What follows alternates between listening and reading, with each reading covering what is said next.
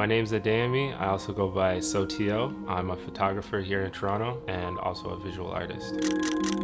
5 a.m. and I'm loving it.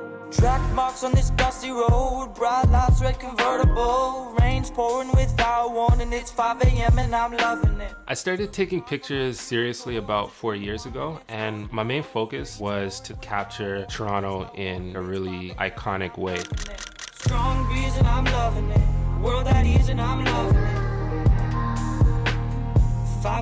I really love to feel the street around me. I love to hear the sounds and see everything that's going on. So I feel like bicycle is like the best method for me to do that.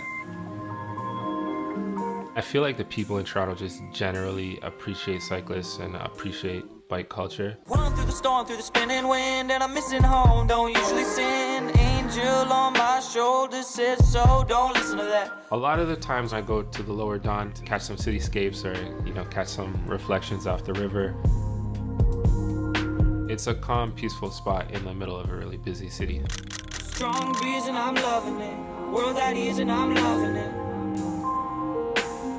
5 a.m. and I'm loving it. I spend a lot of time in the financial district because there's just a lot of great cityscapes to take pictures of. 5 a.m. and I'm loving it. Strong breeze and I'm loving it. World at ease and I'm loving it.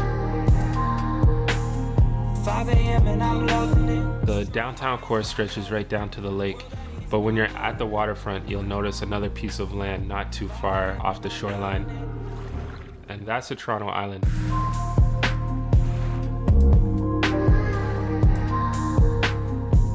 I like to go over in the evening. You get this great view of the sun setting behind the city skyline.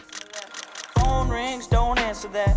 Mind sings, don't listen to that. There's just so many new things I find out about Toronto on a consistent basis that just make me feel really engaged. They make me feel like I'm learning and I'm growing as a person, and that's what's really important to me.